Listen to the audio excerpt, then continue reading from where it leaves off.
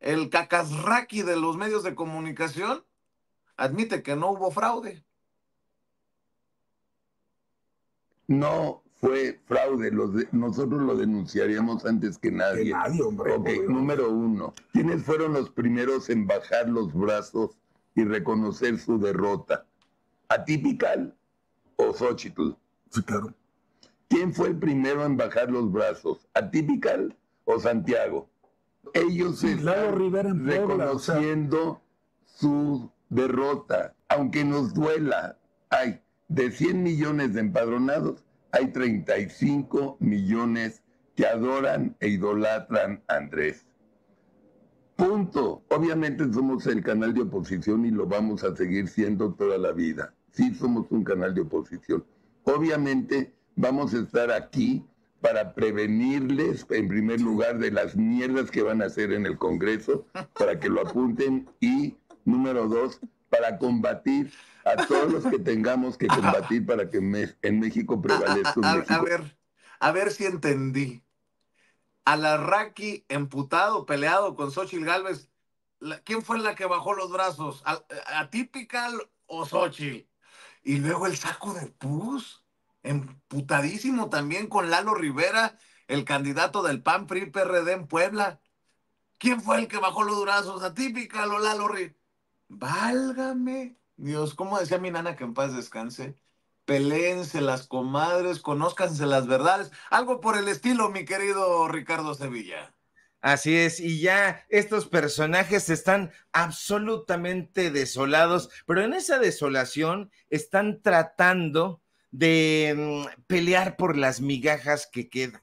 Estos personajes dicen, yo no fui, fue TT, yo no reconocí esta derrota, eh, la reconoció él, yo no alcé los brazos, yo los bajé, no, yo los bajé, los alzó, no tiene sentido nada de lo que dicen. Y en esta pelea, Vicente, de las migajas, estos personajes están todavía eh, compitiendo entre ellos para decir quién se queda después de esa derrota histórica, porque esto es no solamente la desaparición del PRD, del perderé, le decíamos en mi época adolescente, porque eh, cumplió 35 años ese partido político, un partido político bastante joven, si hubiera que decirlo, y muere gracias a las cuchilladas traperas que se dan entre los chuchos. Pero fíjate que Kenia López Rabadán, dice, bueno, pues a mí no me importa, serán peras o manzanas,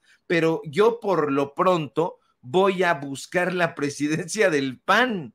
Kenia López responde que sí, que ella está al pendiente de lo que va a suceder en Acción Nacional y va a buscar la presidencia de ese partido eh, político. A ver si nos puedes eh, poner ese video, mi querido don David.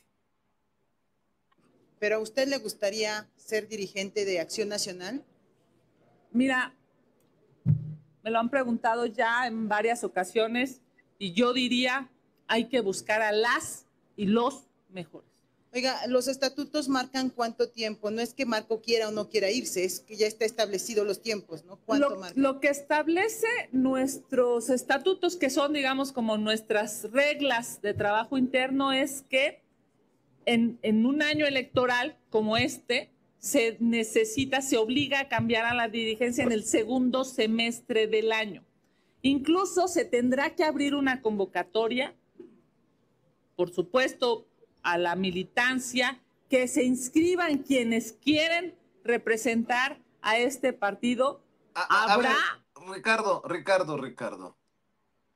Voy a pronosticar a dos de tres caídas sin límite de tiempo, cabellera contra máscara, Kenia López Rabadán, Jorge Romero, no tienen vergüenza. Jorge Romero, el coordinador de los diputados del PAN, ligado al cártel inmobiliario. Y bueno, mira, no es, no es por echarle flores, pero hace unos días entrevisté a Damián Cepeda, que creo que es el más mesurado en ocasiones, en ocasiones, porque a veces se le van las cuatro, anda brincando como chiva en cristalería pero Damián Cepeda, por eso te digo, se va Meco, Narco, perdón, Marco Cortés, pero va a haber pleito eh, en el Es más, fíjate lo que dice Damián Cepeda, nos lo adelantó aquí en